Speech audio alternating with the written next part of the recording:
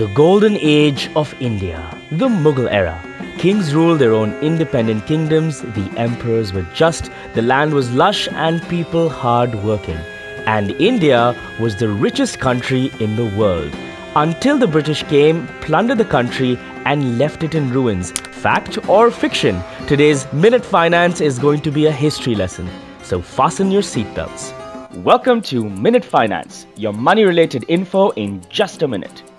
It's a well accepted fact that India was the richest country in the world during the Maurya Empire. For the first time in history, the entire land was under one ruler.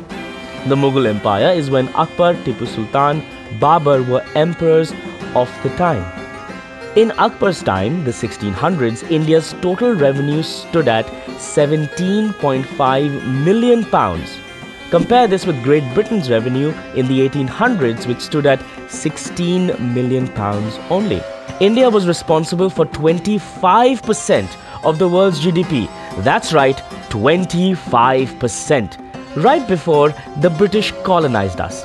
As of 2016, India is responsible for a mere 2.5%. India was not only the richest but a major global trading powerhouse. You might be wondering, how did things change so fast? For starters, India was ruled by different kings during the Mughal era, so it became easy for the British to divide and conquer. In addition to that, there was no industrial revolution in India in the 1800s. The reason was simple wages were low, so if you owned a cotton mill, you did not have an incentive to buy machinery. Not when you could pay your employees so little. Do you think India can return to its former economic glory? Share your thoughts in the comments below on how India can become a superpower again. Trade Academy is on a mission to spread financial literacy across India for free.